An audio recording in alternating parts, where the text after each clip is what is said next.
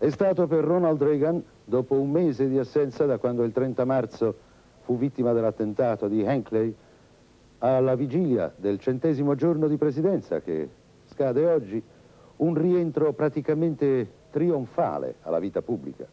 Mentre radio e televisioni di tutta America erano collegate in diretta, il Presidente degli Stati Uniti è entrato alla Camera del Campidoglio di Washington, accolto da una vera e propria ovazione, sia da parte dei repubblicani, sia da parte dei democratici. Mr. Speaker, the President of the United States.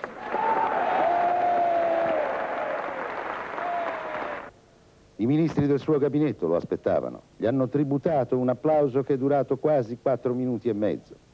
Alle spalle di Reagan, che risponde, come vediamo, sorridente al saluto sinceramente entusiastico di amici e avversari, altissimo l'agente dei servizi segreti, Jerry Parr, l'uomo che spinse energicamente Reagan nell'automobile quando il 30 marzo scorso Hinckley cominciò la sua folle sparatoria. È una precauzione in più Prima d'ora all'interno del Campidoglio il Presidente non era mai stato scortato, seguito dalle sue guardie del corpo.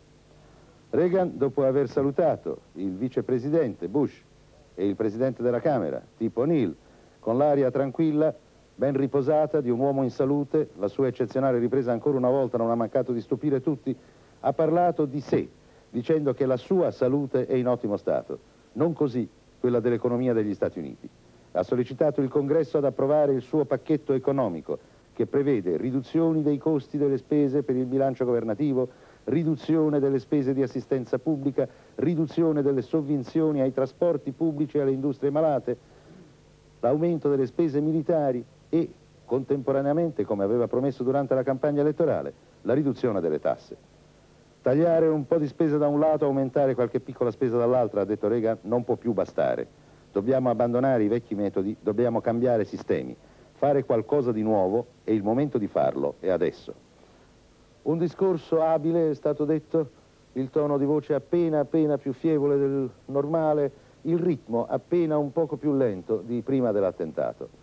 Ora sarà da vedere se entro le prossime due settimane il Congresso approverà questo pacchetto di rilancio economico del Presidente Reagan.